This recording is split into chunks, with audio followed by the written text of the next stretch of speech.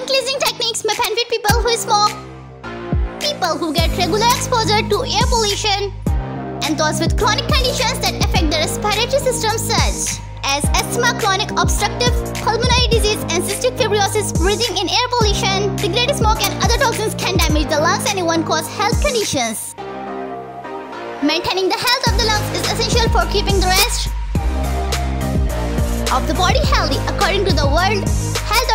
Organization WHO. Exposure to air pollution results in 4.2 deaths worldwide each year.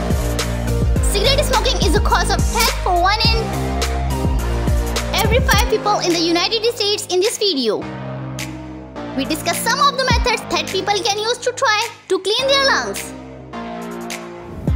Beets and beet greens. Two vibrantly colored root and greens of the beetroot plant contain compounds that optimize lung function. Beetroot and beet greens are rich in nitrates which have been shown to benefit lung function.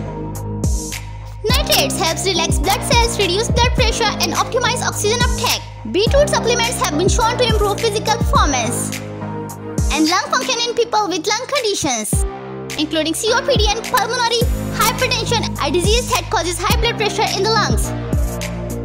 Additionally, beet greens are packed with magnesium, potassium, vitamin C, and carotenoid antioxidants, all of which are essential to lung health. Peppers Peppers are amongst the richest source of vitamin C, a water-soluble nutrient that acts as a powerful antioxidant in your body. Getting enough vitamin C is especially important for those who smoke in fact due to the damaging effects of cigarette smoke on your body's antioxidant stores. It's recommended that people who smoke consume an extra 35 mg of vitamin C per day. However, many studies show that smokers may benefit from higher doses of vitamin C and that smokers with high vitamin C intake have better lung function than those with lower vitamin C intake. Consuming just one medium-sized 119 gram sweet red pepper delivers 169% of the recommended intake for vitamin C.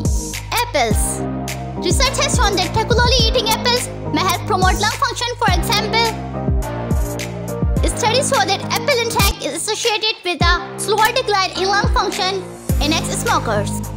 Additionally, consuming 5 or more apples per week is associated with greater lung function and a reduced risk of developing COPD. Apple intake has also been linked to a lower risk of asthma and lung cancer. This may be due to the high concentration of antioxidants